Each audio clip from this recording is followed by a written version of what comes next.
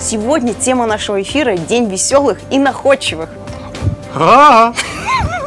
Челябинские юмористы вновь зажгли на федеральном канале. Очередная команда КВН вырвалась в высшую лигу. Челябинцы продолжают прославлять наш регион. Итак, какие же команды э, вырвались, э, какие же команды были вот в этом числе? Например, под названием «Сборная Челябинска и Маджелинска», также «Сода» и теперь «Театр уральского зрителя». Вот такой вот послужной список нашего, нашего следующего гостя, который Да. у нас уже он, здесь он, есть. он играл во всех Да. тех трех командах. У нас в студии Данил Соломатов, участник команды КВН «Театр уральского зрителя». Команды, которая вырвалась в высшую лигу КВН. Данил, Доброе утро! Доброе утро, мы тебя Доброе утро. поздравляем с профессиональным Привет. твоим праздником. Спасибо. Да. со скольки лет ты играешь в КВН? С 14 лет. И Почему? уже почти 14 лет. Тебе И ты быстро уже такой взрослый. да. Да, да. А Как это пришло? Как это пришло в твою жизнь?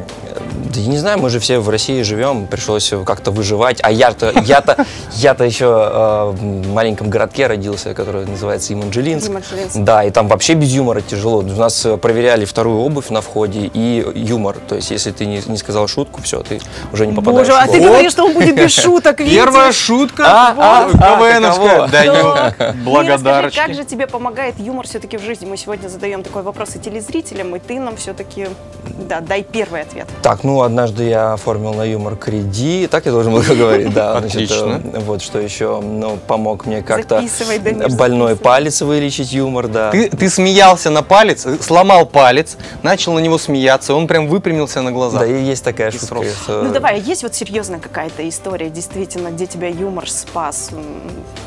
Да нет, нет такой истории, мы же всегда с юмором. То есть э, утром встал, пошутил, пошел зуб почистил, пошутил. А вот Э, бывает такое, что вот не идет юмор? Что вообще нужно сделать, чтобы вдохновиться, чтобы вот шли вот эти шутки? Ну, у всех по-разному.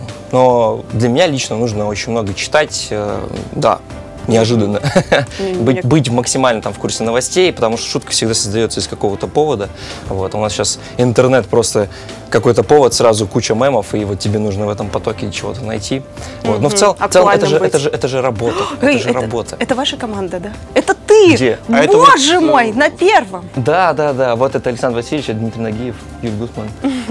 Скажи, пожалуйста, а что вообще, вот как ты считаешь, помогло вашей команде реально выйти Пробиться, в да. высшую лигу? Ну, самая я главная бы- фишка, да, так да, да. скажем. И по мне же не скажешь, что сразу шутки. Нет, нет, ты очень серьезный человек Да, уже, да. видимо. А, У нас была интересная идея просто концептуальная, как театр уральского зрителя, такого еще не было. Ну Вот. э, И вот пока в КВН идет битва концептов. То есть у нас есть там цирк, есть полиция, есть система ФСИН. А, Обычные КВНщики уже в КВН не играют. И мне кажется, скоро будет... на- Ну, у нас был уже сборный факультета журналистики, но они не позиционируют себя как журналисты. Ну, мне кажется, скоро будет сборная нашего утра. Отлично, мне кажется, впишется, да? Посмотри, как какой готов. Аня, да. Э, Тренировать нашу команду. Э, Отлично. Хорошо. А хорошо. какие планы у тебя вообще на будущее? То есть ты уже засветился все-таки на Первом канале. Что дальше ты собираешься делать? И как тебе это, самое главное, помогло здесь у нас, в Челябинске? Ну, просто премьер-лига это не высшая лига, высшая лига это прям уже так хе-хей, а нам туда нужно прям еще прям хорошо залететь и отлично выступить, вот. А там, а там, э, там дальше уже творчество как будет развиваться, потому что мы бы хотели, конечно, остаться вот своей командой, что-то делать э, вот в, в рамках вот этого э, коллектива, а там уральские пельмени, только вот театр уральского зрителя. Не знаю, Вы если- если- будете перемещаться все вместе туда или здесь все-таки останетесь? Это личный работать? вопрос. Мы же реквизитная команда, мы можем построить поезд, самолет из, из ДВП и, и полететь, в принципе, да. То есть можем, а можем, можем вернуться обратно, мы можем построить свой театр здесь. Есть такой замечательный коллектив, называется э, Театр абсурда воробушек. Вот, у них есть такой прикол, они дают э, свои концерты в 7 утра. Вот как раз Не, не жавороночек, а воробушек. Воробушек, да. Ну ладно. Здорово, здорово. Спасибо большое, Данил. Да, мы тебе э, желаем все-таки профессионального роста, чтобы ты не остановливался, ты дальше рос, чтобы ты каждое утро просыпался и два листа шуток прям вот э, Да, тут мне прям совсем грустно, мне кажется, стало после разговора со мной. Или я его зомбирую просто, просто. понимаешь, а тебе 28, да?